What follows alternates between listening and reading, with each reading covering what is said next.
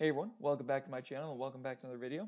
Today we're going to be switching gears back to DWG TrueView and we're going to be looking at how to measure the area of an object within TrueView. So this should be a pretty quick lesson, pretty straightforward, pretty easy. And before we get started, please consider subscribing to the channel. We're close to a thousand subscribers. It means a lot to me. Shows me how the videos are doing. If you like the video, give it a like down below. If you want to see something else done in either AutoCAD or TrueView, leave it in the comments, and if you think someone else could use this video or find it helpful, give it a share as well. Alright, so as you can see here, we have a few different polygons within our TrueView viewport, and these are actually shapes that I created in AutoCAD to bring over here for this example. And finding the area of these is actually very straightforward and relatively simple. And the first thing we're going to do is we're going to come up to the measure button right up here in the measure box. We're going to drop down to area and then we're going to come to our first shape, which is this circle right here. Now, as you can see here, I can click right here, click right here. But what we're going to do before we click on the circle is we're going to come down to the command bar, and you're actually going to be able to use this uh, quite a bit for finding the area. You're going to come down here, and you're going to select Object instead.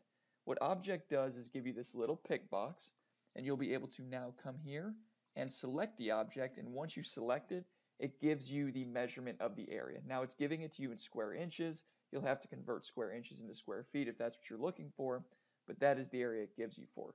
So we're going to escape here, press the escape button, and we're going to do the same thing, come here to measure, and we're going to come up to area, and then we're going to do the same thing and come to object. We're going to measure now the rectangle we have here. So we're going to come here in the pick box, click it, and as you can see here, the area is 315.64613 square inches on that rectangle. We're going to press escape. Now, the last object is this funky looking polygon that's just all over the place. And what we're going to do is we want to measure the area of this. Now, if I come to the area button, like we've done before, and I click on object, it doesn't let me click on that polygon. That is uh, presumably because it was created with multiple different lines, and the circle and rectangle were created as regular circles and rectangles. So to get the area of this, we're going to have to do a little bit of a different uh, style of measuring the lines and selecting them. But we're going to come here and we're going to click on area. And then instead of going down to your command line this time, we are going to come over here and just start clicking on the points. So as you can see here, I'm clicking on these points. I'm going to keep clicking on all of the points of this polygon. We're going to come up, keep going, keep going, keep going,